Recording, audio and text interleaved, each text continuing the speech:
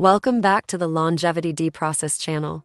Dr. Greg Fahy, a pioneering cryobiologist and biogerontologist, presents groundbreaking findings at the Rejuvenation Startup Summit 2024. His work with Intervene Immune has pushed the boundaries of age reversal research, focusing on the regeneration of the thymus gland. Fahy's team has successfully replicated and expanded upon their initial thymus regeneration, immunorestoration, and insulin mitigation study. Using a unique combination of growth hormone, metformin, and DHEA, they've demonstrated remarkable results in thymic rejuvenation and overall health improvements in older adults.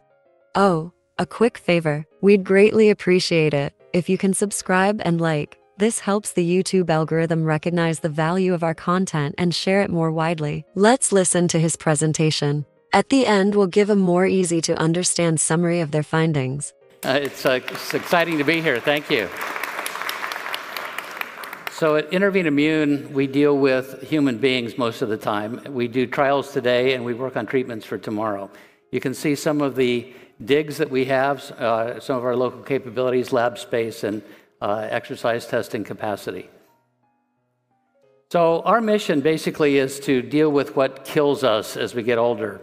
And we think that you can trace a lot of what happens to us in aging to what happens to us when we go through puberty. So, what you see up in the top uh, left panel is the fact that your thymus uh, deteriorates rapidly after you go through puberty, and that cyan curve is the functional part of the thymus that remains. You can see by the age of 30 or to 40, you have almost no functional mass left in your thymus. This leads ultimately to a collapse of the uh, repertoire of your immune system.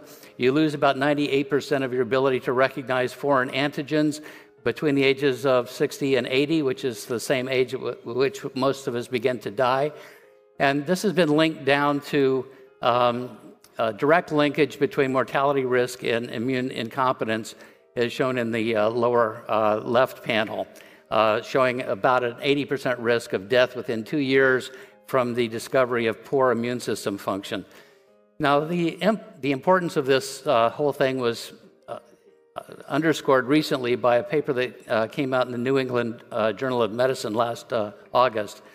And what it shows is that despite this very small amount of active functional mass that you still have left, if you remove it with a thymectomy, then within five years, your risk of being dead from any cause increases by 2.9 fold, and your risk of dying of cancer uh, increases by twofold. So you need every little bit of that thymic mass that you can get, and if we can do anything to increase that by even a little bit, then we're doing uh, people a favor. I compiled some statistics from the uh, Center for Disease Control, and you can see from the, from the curve that um, uh, the risk of death from immune related causes, including infectious diseases and cancer, skyrockets as we get older. And probably for people over the age of 50, uh, probably half of us or more die of these consequences of immune system failure. And we're also inspired by one other little thing, which is if you give thymus transplants to old animals, it restores other aspects of aging that have deteriorated uh, with time, and it also extends lifespan. So we think that we're on the right track here. And so we've begun doing these clinical trials. Uh, and as the chairman mentioned, I think you're probably aware of many of them. Um, so we, uh, we uh, use uh, a very practical approach to regenerating the thymus. We use a, um, a combination of three known agents that we can repurpose for this, uh, for this uh, project in order to ensure uh, quick uh, regulatory approval by the FDA and other bodies, and to make sure that we're dealing with agents that are safe. Uh, we use growth hormone to regrow the thymus and metformin and DHEA to counteract the diabetogenic side effects of growth hormone. Um, uh, the good thing about this is that uh, all three of these individual agents have their own anti aging benefits. So, this may account for some of the successes that we have seen and as uh, you just heard, we published our first trial in 2019, and uh, those are the um, uh, participants in that trial.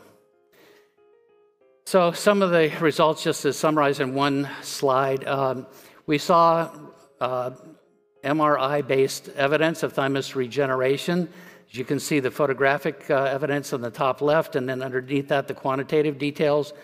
On the upper right, you see recovery of production of naive T cells. These are newly minted T cells, both the CD4 and CD8 variety, as well as the decline in certain senescent CD8 cell populations, which actually prevent you from rejecting cancer as you get older. So, all of that was good and in line with what we were hoping to see, but we also saw this interesting effect of reversing epigenetic markers of aging. So, in the lower middle panel there, you see an average of four different uh, aging. Um, let's see if this works. Yes. You see, uh, that's an average of four different uh, uh aging uh, clocks based on epigenetic markers. Um, and that's an independent clock based on the plasma phenoages, plasma markers, and they both show aging reversing down to about uh, uh, two and a half years or so, at least based on, on those particular metrics. Uh, there has been some question as to whether the aging reversal trends that we're looking at are intrinsic or extrinsic. Are they just reflecting changes in immune cell populations, or are they deeper than that? So we actually ran these tests on uh, the original TRIIM study population and showed that both extrinsic aging, which is the immune cell population part, and intrinsic aging, which is something deeper and more widespread, they both reverse. So we think it's both. So, what we're going to be talking about mostly today is where we're going uh, from here and, and what we've just accomplished with this new trial called the TRIIM-X A trial. So the X in the TRIIM X series uh, of trials uh, refers to the extension of the original TRIIM trial. So this will be our, our first attempt to replicate and uh, extend uh, the original study by adding more volunteers. So we have 26 people instead of nine. We have six women in this trial, uh, and uh, we had treatment and growth hormone controls. In other words, people who are taking no treatment at all or people who are taking just the metformin and the DHEA without the growth hormone. We enrolled people of greater ages who are also a bit sicker, and we included more metrics of functional recoveries, not just numbers uh, in a spreadsheet. So this study is actually now completed except for the analytical phase, and we will present the data that we can right now, but we're still getting more uh, uh, results out of this trial. So, just to briefly compare the study populations, um, the older population was on average about 67. Uh, the original trial population was about 59. Uh, but the epigenetic ages were maybe a lot closer than that, at least based on the plasma pheno age clock. Uh, uh the difference was almost non existent between the new groups and the old groups, which means that biologically compared to chronologically, the new treatment groups were much younger than the original one. Some complications. Uh, when we did TRIIM, nobody had ever heard of COVID 19. Uh, when we did uh, TRIIM XA, everybody had to be vaccinated for COVID 19. Whether this had any effects on our results, we don't know at this point. We still have to parse that. Um, a few people actually got COVID 19 during the course of the TRIIM XA study. Uh, we're going to have to look back and parse that as well. But as far as side effects are concerned, they were very similar between the two populations.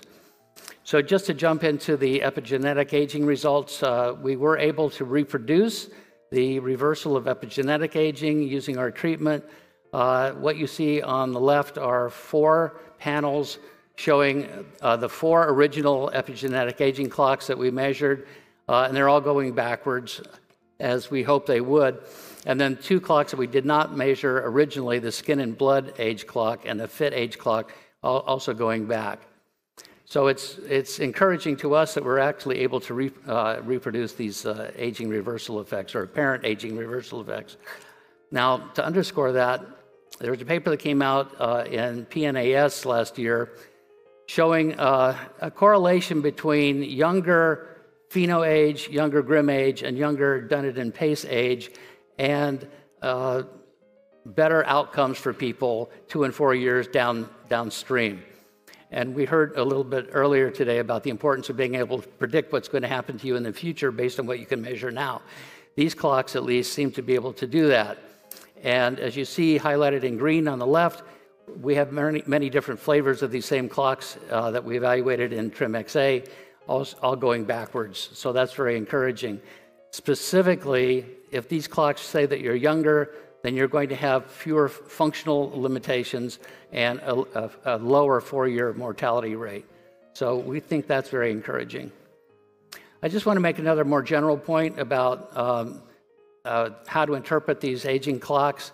Um, there's the first element of it, which is how far back does the clock go, and that's important.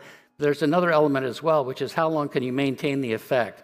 And these uh, are two examples that we were able to do uh, to obtain as a result of doing the uh, TRIIM-XA study uh, that, that give us some insight into this. So in the upper panel, uh, the gentleman um, who started off with the red dot, uh, he, he had an epigenetic, a, a plasma pheno age of about six, 57. After the trial that he went into, he got down to about 47. So this is the effect of the TRIIM trial. And then later on, he re-entered uh, our, our trial series with the TRIIM-XA trial and went down even more. So the horizontal line connects his previous plasma pheno age with his outcome after the second trial. And what you see is that at the end of the second trial, he was 3.1 years younger based on this measure than he had been when he started the trial in the beginning, but that was 6.3 years earlier or so. So he went back about uh, 10 years uh, on average, just based on uh, uh, being able to repeat the trial twice. And his brother didn't have very much luck in reversing plasma pheno age, but we were able to maintain it. And so, uh, 7.8 years after the trial started, in his case, he had the same plasma pheno age. So these are important advantages as well. So I'll just say that. Um, so far, we haven't seen uh, similar uh, changes in our controls. Uh, and as I said, we have many controls in progress, but uh, these are just two that we had completed in TRIIM-XA. This happens to be Steve Horvath on the left and his brother Marcus in the middle. And neither one of them showed uh, aging reversal based on this plasma pheno age clock, whereas I went back uh, statistically significantly about four, four years after a year. So uh, uh, we think that the full treatment is better than uh, DHE or metformin by itself. Now, there's, there's something else interesting that we've come upon recently that I wanted to share with you, and that is the question is how, how much farther can we go with this? Uh, on the left is the data I just showed you for myself in the uh, TRIIM-XA trial, going back about four years and a year. In the middle is a very new study that we've just done, and Bobby did it on himself too, and it worked for him too. This shows what happened to me on uh, taking a novel therapeutic agent orally, not by injection. And in this case, I went back in the same metric by six years and about 90 days. So that's kind of interesting for us. And the question then is can we combine these two modalities? So after that middle panel study was done, uh, 50 days later, I went uh, and, and, started treatment again with the TRIIM trial uh, medications. And after a week, my uh, plasma pheno age was about the same. A week later, it was down by two years by combining the plasma uh, by combining the TRIIM treatment with this novel agent. So uh, totally anecdotal right now, and uh, I, I, can't say anything about the validity in the future, but it, it provides some hint of that we may be able to do better than we've done so far. Now, getting to the immunological and inflammatory uh, results of the TRIIM-XA trial, uh, you can see uh, that the men went back to a lower CRP uh, with high statistical significance after 12 months. The women couldn't get there statistically, but they obviously got there biologically. We were only able to evaluate four out of the six, so we didn't quite hit the statistics. You'll also note that the lady started off with a uh, CRP of 0.8, which is very close to zero anyway. Um, and overall, as you can see from the inset, uh, most people reduced their CRP by 50% or so within the first 30 days of treatment and kept it there for the rest of the year. So, despite all of the noise and the data, we were able to draw a regression line through that with a statistically significant result. Now, getting to the immune cells, um, total lymphocytes uh, increased uh, with, uh, with our treatment, and percentage lymphocytes, which is important for the plasma pheno age, which is this Morgan Levine clock uh, that I've been referring to, uh, that also went up, but we didn't see the same thing happen in our controls. Uh, we saw an increase in recent thymic emigrants as well, a highly statistically significant, and we had uh, an increase in the uh, expected uh, output of naive CD4 and CD8 T cells as well, based on these epigenetic aging clocks. The actual direct measurements are still in progress. We also saw some interesting new things in the trial that we hadn't seen before. Um, specifically impressive are these effects on improved uh, um, exercise tolerance and, and, strength. And the first panel uh, here is uh, an indication that leg strength improved quite a bit without exercise, and they just got stronger. Nobody was really expecting this, but we had to make a measurement at baseline and then a year later, and they were much stronger. Um, this is one of two measures that we did with that, of that. We got the same results. In, the next panel is VO2 max. Uh, that's going up with high statistical significance. Uh, the net effect of this is a predicted uh, reduction in mortality rate of about 15% or so, if I recall the number correctly. Um, we also had an improvement in lactate threshold, which is related to your ability to keep on exercising under stressful conditions. And we also saw something that's very practical. So, uh, one, one thing that governs whether people are institutionalized or not is whether they can get up off the toilet. And uh, you can simulate that kind of thing by making them sit and stand as many times as they can from a stool in 30 seconds. And we saw a major improvement in that as well. Uh, and we also um, uh, saw an improvement in lung capacity measured by those who entered the trial with uh, carbon dioxide levels that were higher than, than normal, that also recovered uh, nicely. So you can see from the people around the margins of this uh, slide that uh, the, the, the, volunteers were pretty happy with all of these uh, changes, including, I will say, um, our um, track star, 81 year old track star guy winning all these medals after going on our treatment. So he was happy. All right, we also saw improvements in uh, resting pulse and in diastolic blood pressure. Uh, we saw improvements in total fat, a 14% decrease in uh, uh body uh, fat percentage, reduction in visceral adipose tissue, uh, and a gain in lean body mass of 1.3 kilograms. And many people reported weight loss.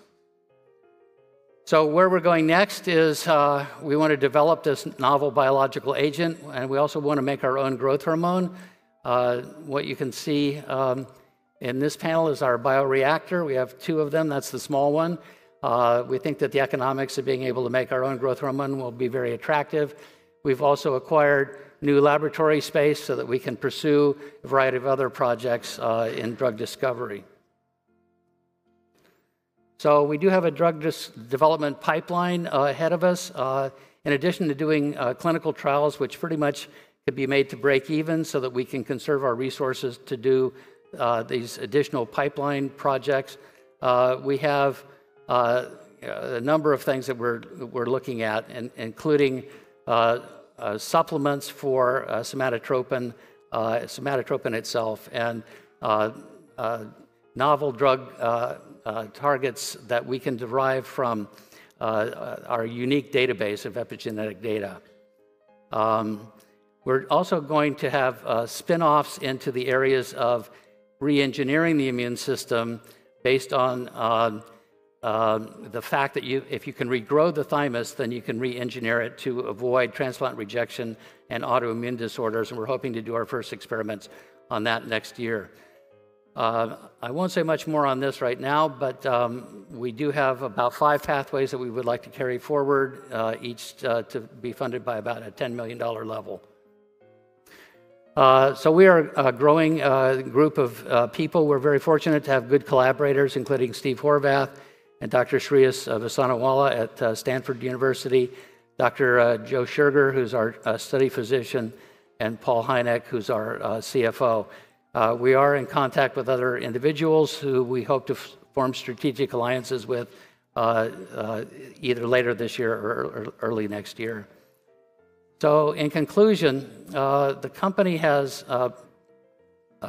therapies available right now that seem to be able to reverse markers of aging in people Uh, the, the therapy has real life benefits that can be obtained right now.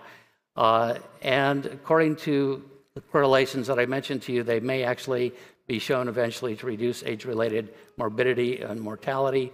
Uh, and we have demonstrated demand for our services. People are paying to uh, enroll themselves in our trials. Uh, and we have pathways to organic growth through the development of the BioBetter uh, formulation of growth hormone and other uh, agents, and we're developing new alliances. So feel free to contact us after this uh, for uh, Uh, business or scientific uh, purposes. And uh, I'll just leave you with this thought. This is our 81 year old track star guy, uh, underscoring the fact that our mission is to improve human longevity and health and achieve extraordinary results. so thanks for your attention.